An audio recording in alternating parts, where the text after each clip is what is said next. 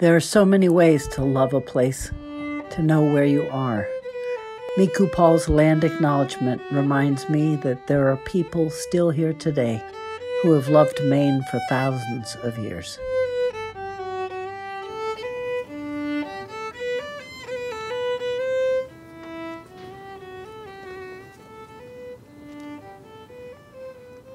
Human beings assembled here acknowledge that we stand on the homeland of the Wabanaki, people of the dawn.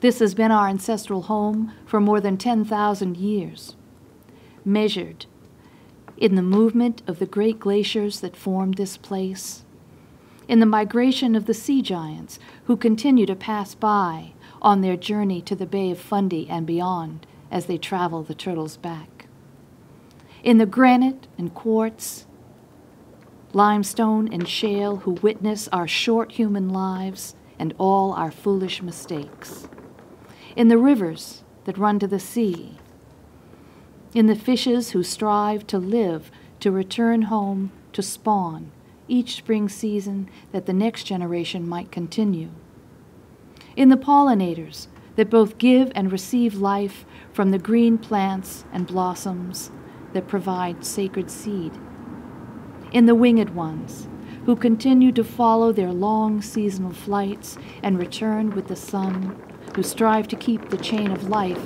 intact. Time is a story. The Wabanaki continue even now in this ravaged moment. Creator gave us to this place, and the Mother sustains us. We acknowledge the people we acknowledge the four legged whose presence fades as their homes are destroyed. We acknowledge the winged ones. We acknowledge the water dwellers whose lives hang in the balance. We acknowledge the web of creation.